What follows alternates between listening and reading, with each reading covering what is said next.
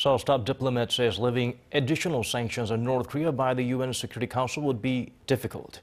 This was during a plenary session of the Foreign Affairs and Unification Committee of the National Assembly on Monday. Such comments come as China and Russia have long been opposed to slapping additional sanctions on the regime, and the request has to be agreed by consensus by the Council's 15-member North Korea Sanctions Committee. Chung Eui-yong also pointed out the limitations of Washington's sanctions on Pyongyang, saying even the previous sanctions haven't caused much harm to the North.